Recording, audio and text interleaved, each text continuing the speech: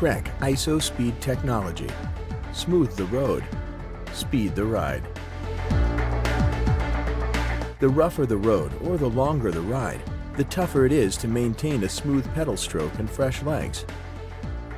Trek's high-performance, ultra-smooth solution, IsoSpeed.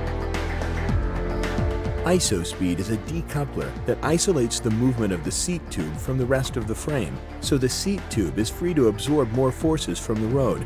That absorption is called vertical compliance, and it means your bike soaks up road shock, so you don't have to.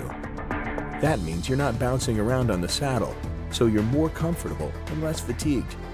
Your rear wheel stays in better contact with the road on rough pavement, giving you better traction and power transfer. Result?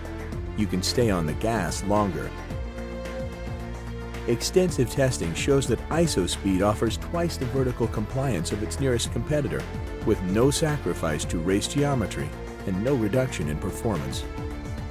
World champion cyclist and rough road specialist Fabian Cancellara would settle for nothing less. His weapon of choice for a full gas assault on the cobbles?